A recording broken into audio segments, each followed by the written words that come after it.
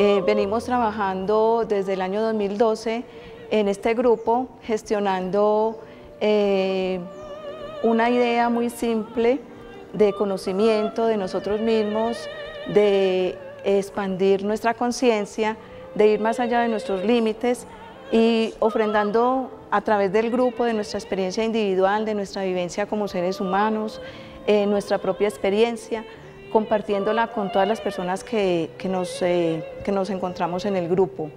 Es muy lindo poder desde la experiencia individual compartir un saber que es universal, compartir una experiencia de vida que desde, la, desde el punto de vista individual pareciera no tener ninguna conexión, pero realmente somos seres humanos conectados con todo y con todos.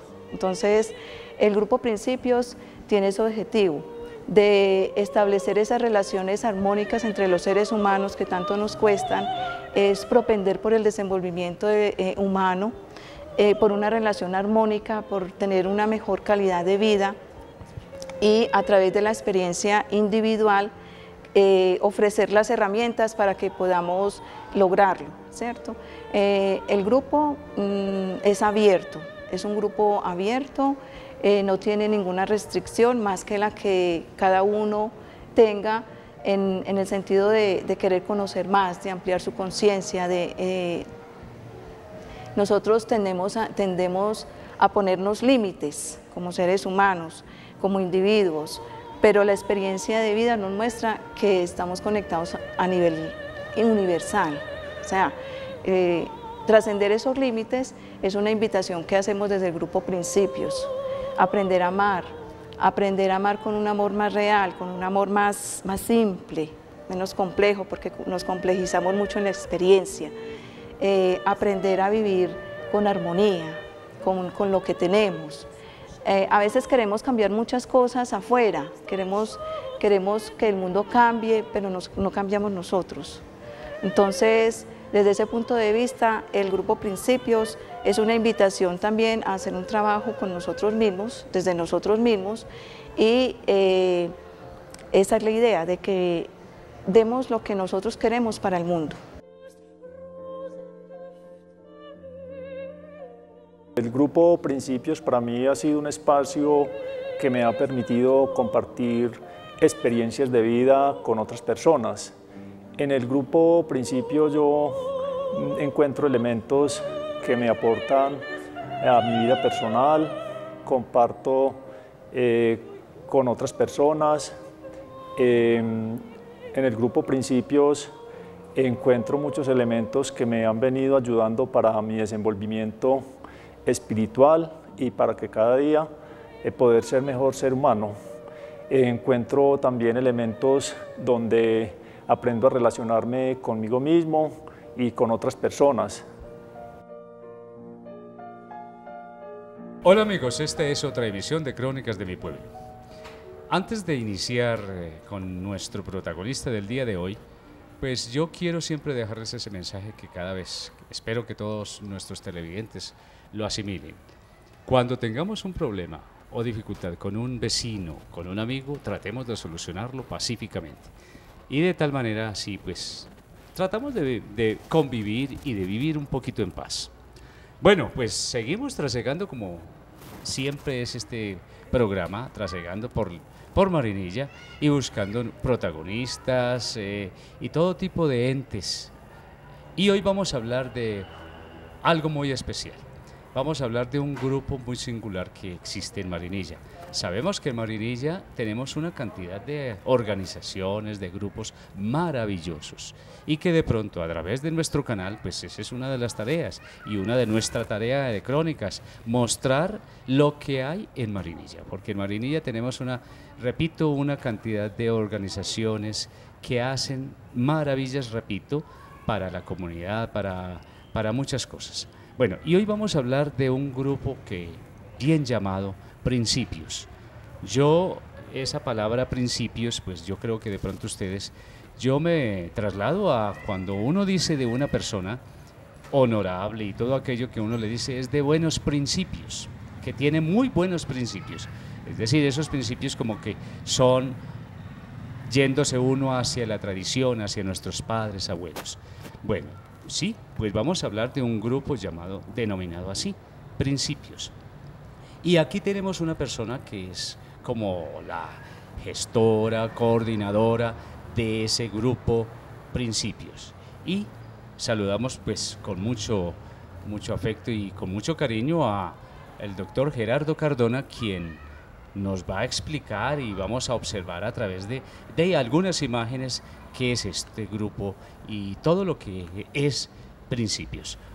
Repito, muchas gracias Gerardo por tu colaboración con nuestro canal. Bueno, yo no sé la, pregunta general. ¿Qué es eso de principios?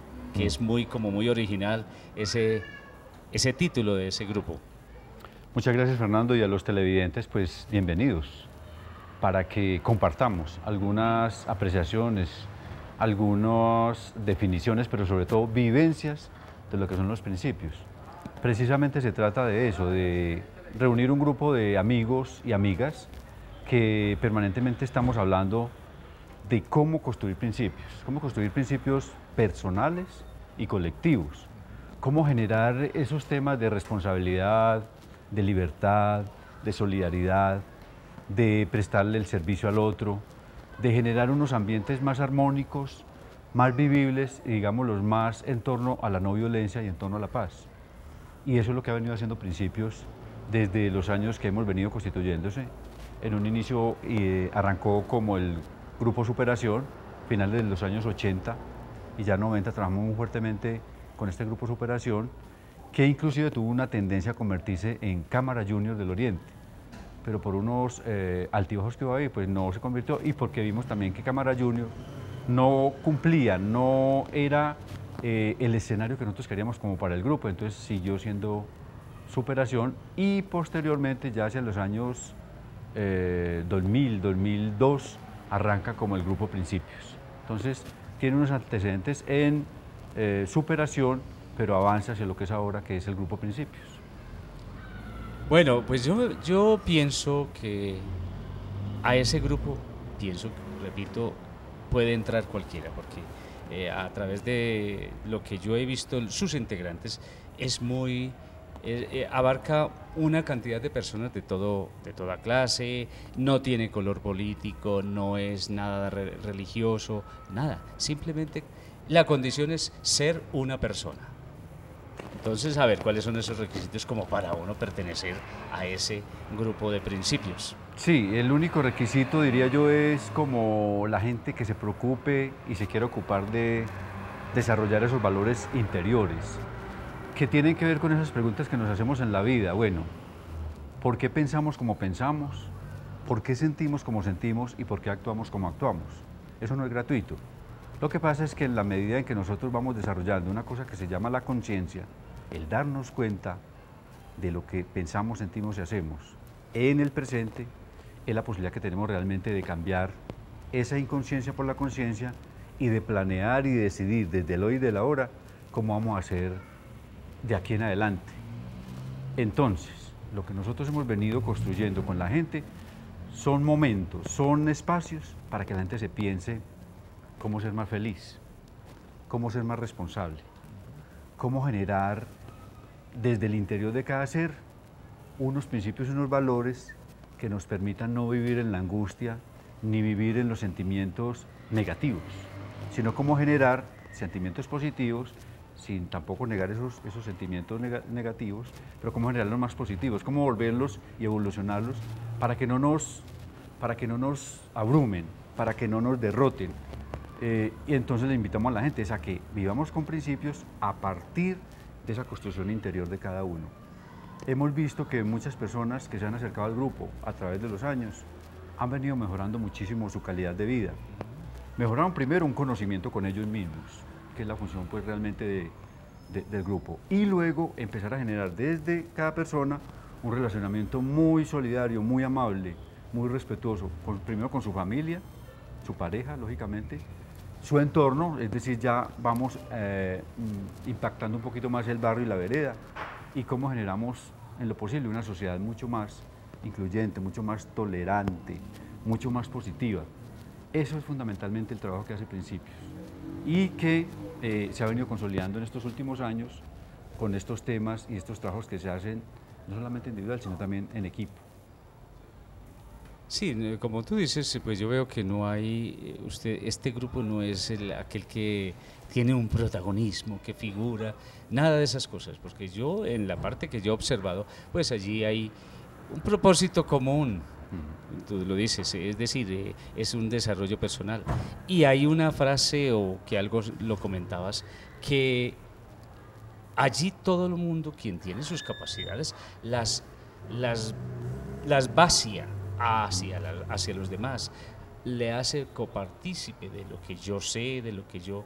Entonces, eh, podríamos de pronto decir aquí qué tipo, bueno, pues por, por las fotos y por, y, por la, y por las personas que vemos en, en, nuestra grabación, pues vemos una gran variedad de edades, que eso enriquece el grupo, ¿no es así? Claro, nosotros hemos tenido hasta niños y adolescentes en el grupo, pero sí preferimos de todas maneras que vayan gente ya más adulta, mm. porque de todas maneras las etapas de la vida, nosotros sabemos que un, un muchacho, una muchacha en edad adolescente o niño pues todavía no tienen la capacidad de concentrarse, de responder mucho por lo que ellos son. Eh, y queremos generar más también un trabajo desde personas que puedan aportarle mucho a la ciudadanía, desde su condición de, de, personas que construyen todos los días el territorio, que construyen todavía, todavía la realidad. Invitamos en un inicio a la gente para que haga un silencio interno. Mm, por ejemplo, la, la mecánica que hacemos en las reuniones es con una música inicial, tratamos de que la gente se relaje, que la gente entre en un estado de mirarse hacia adentro, ya lo hemos dicho, y que haga ese silencio de los pensamientos y los sentimientos, lógicamente también el silencio del cuerpo. Y por ello buscamos un espacio pues, adecuado también, que no tenga muchos ruidos, calmado, que no tenga mucho, mucha intromisión de lo externo. Y posteriormente ya trabajamos temas, trabajamos una reflexión, trabajamos un tema científico y de unas lecturas que hacemos constantemente, vamos dando también una serie como de, insinuaciones para que la gente desarrolle desde su interior esos valores y esos principios que queremos que se enraicen y queden en el interno de cada ser humano. Pero más que aprenderlos, es practicarlos. Mm. Más que eh, recitarlos de memoria de un texto, es que la gente empiece a generar acciones concretas con esos elementos que trabajamos dentro de las reuniones. Y finalmente, mire, hemos tenido, nosotros llevamos ya en esta última etapa permanentemente, llevamos, alrededor de unos 12 años con el Grupo Principios, muy consolidado, muy sólido, en donde hay una asistencia más o menos de unas 10, 12 personas permanentemente. Bueno, eh, quería acotar que para este año, por ejemplo, estamos viendo un curso que se llama El arte de vivir la relación. Es decir, cómo nos relacionamos cada uno, por ejemplo, con, el medio ambiente, con el cuerpo, cómo nos relacionamos con las dificultades y las fortalezas, cómo nos relacionamos con los problemas. Hoy, por ejemplo, estamos tocando un tema importantísimo que es la relación de nosotros con nuestro cuerpo. Y hablamos de nuestro cuerpo físico. Cómo generamos un trabajo permanente para que nuestro cuerpo esté sano a través de la alimentación, a través de la respiración, a través del ejercicio físico, a través de tener una ahorro de energías, que es muy importante porque en la medida que nosotros tengamos ese plan y cuidemos el cuerpo, vamos a prevenir enfermedades. Inclusive, vamos a controlar enfermedades que son hereditarias. Entonces, en la medida en que nosotros desarrollemos una disciplina y unas acciones concretas para que el cuerpo esté sano, pues vamos a tener una calidad de vida mayor. Y no vamos a terminar, por la gente que derrocha la energía, con la gente que no se cuida, eh, primero enfermándonos y poniendo en dificultades a nuestra gente más allegada, a los familiares, y poniendo en dificultad la misma sociedad y el mismo Estado que tienen que asumir una cantidad de costos por la irresponsabilidad de nosotros con nuestro cuerpo. Entonces son, como le digo Fernando y, y compañeros televidentes, son enseñanzas que nos ayudan mucho a manejar el tema de lo que soy yo en estos planos físicos, anímicos y espirituales. Porque también hay que acotar que pues para nosotros lo que siempre venimos desarrollando a través de toda la historia y lo que manejan todos los caminos espirituales y las religiones es que no somos, no somos solamente parte física, somos también alma. Y esa alma son los pensamientos y los sentimientos. Ahora, lo que tratamos de desarrollar en, en las reuniones es cómo aquietar los pensamientos y cómo manejar los pensamientos y cómo evolucionar los sentimientos. Indudablemente, por ejemplo, el sentimiento es muy importante en el aprendizaje del ser humano porque para uno poder aprender y para uno poder transformarse, tiene que sentir las cosas. Lo que no se siente, no se vive.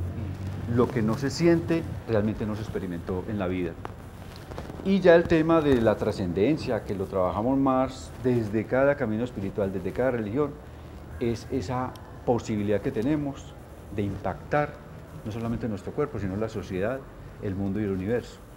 Ese ser espiritual que todos tenemos adentro es el que tenemos que aprender a ayudar a iluminar, ayudar a que esa llamita que hay adentro de cada uno de nosotros crezca cada vez más y se vuelva como una permanencia dentro de cada ser.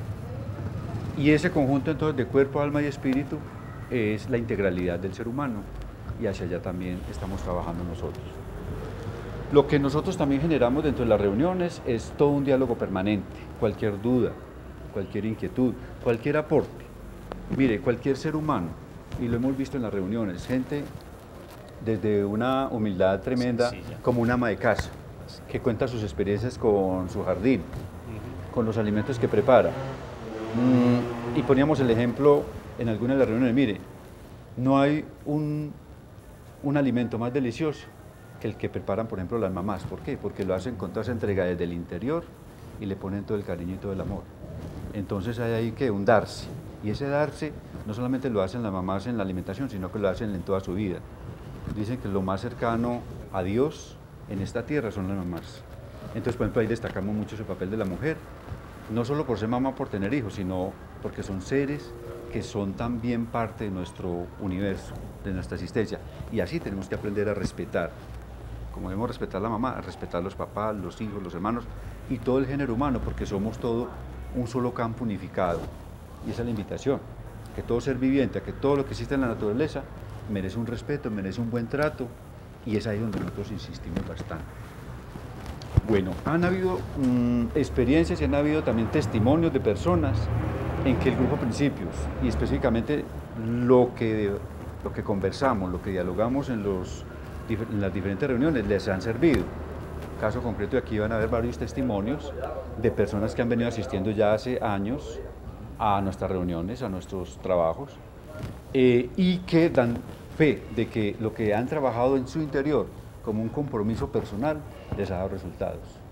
Eh, ellos dicen, y lo expresan de una manera muy bonita, dicen, nos ha ayudado a ser mejores personas, a ser más responsables, a tratar mejor a, a los alumnos en el caso de profesores, a tratar mejor a los hijos en el caso de padres de familia, a tratar mejor a sus vecinos en el caso de, de, lo, de las personas que viven en barrios que a veces tienen problemas de convivencia, que tienen problemas entre, entre, entre linderos, en un momento determinado, claro. Eso, por ejemplo, es lo que nosotros eh, destacamos de este trabajo con principios. Hacer una buena vecindad, hacer un buen trabajo con la familia y sobre todo generar un, no un estado, es una realidad de bienestar, de felicidad, de completez, digamos, de, auto, de, autosatisfacción, pero luego proyectando todo eso hacia la sociedad. Bueno, eh, para terminar, Gerardo, entonces, a ver, eh, podría, yo creo que nuestros televidentes de pronto ya nos han dado, eh, se han quedado inquietos. A ver, una comunicación con ustedes, ¿dónde, dónde se reúnen? Eh, no sé, o contacto con alguien, ¿cómo podría si alguien de, los, de nuestros televidentes quisiera pertenecer a este grupo Principios? Bueno, cualquier persona que se quiera dar un regalito eh, en la semana, de una horita y diez minutos, nos estamos reuniendo los lunes de 5 y 45 a 7 de la noche en la Corporación Acordes. La Corporación Acordes queda en toda la esquina de la plaza principal, lo que llamábamos la Casa Campesina. Ahí nos reunimos en un salón que nos lo prestan la Asociación de Mujeres Víctimas eh, del Oriente Antioqueño y Asoma. Y eh, pueden preguntar por Gerardo Cardona, por Blanca Aurora Montoya o por Doña Gabriela Ospina. Eh, y si quieren anotan mi teléfono para que sepan si va a haber reunión ese día o no. Mi teléfono es el 315 563 8603. 315 563 8603. Me pueden contactar, me pueden poner un mensaje WhatsApp o un mensaje común, porque los lunes, que son días de fiesta, no hacemos reuniones, las pasamos para los jueves, pero casi todos los lunes, sagradamente, nos encontramos ahí, 5 y 45 de la tarde, para que nos regalemos un espaciecito para que conversemos sobre esas preocupaciones, sobre esos problemas, que a veces son más mentales y a veces son más psicológicos que reales. Y empezamos a hacer un trabajo bien interesante de conocernos, de reconocernos y sobre todo los invito muy cordialmente a que cambiemos, a que hagamos un trabajo primero interno entre nosotros si queremos cambiar la sociedad. Bueno, pues yo creo que queda una ilustración completa pues para nuestros televidentes. Eh, yo pienso que quien vaya allí pues sale muy, muy transformado y, creo que este, estos grupos son como de apoyo, sirve como de terapia, no sé. Repito, ahí puede ir usted si quiere va, ya lo que me había dicho Gerardo y todos, eh, puede ir, si no puede ir dentro de ocho días, bueno, va dentro de 15 o no sé es de puertas abiertas ese grupo que me parece a mí maravilloso. Miremos ustedes que en miren ustedes que en Marinilla pues tenemos todo ese tipo de, de cosas. Miremos las cosas buenas que hay en Marinilla. Así que aprovechémoslas. No vale cinco centavos o hay que pagar por eso. Absolutamente. Exactamente. solo, solo querer. Sí, antes eh, ellos dan. Qué maravilla. Yo creo que es simplemente querer y darnos un ratico cada ocho días. O si yo no puedo cada ocho días, como les digo, pues puede ser cuando podamos. Bueno, amigos, yo creo que, repito, este es un espacio que el canal comunitario hace ante ustedes para que mm, estén informados de todas las maravillas, repito, que había dicho antes, que hay en Marinilla, todos los espacios que nos dan, no solamente de tipo musical, artístico, no, de, de este tipo, formación, y que yo como persona mayor puedo dar muchas cosas. Y hay muchas otras personas pares, iguales a mí, que me dan muchas cosas. Bueno, pues amigos, esta fue otra emisión de Crónicas de mi Pueblo y los invito para que nos veamos en otra oportunidad.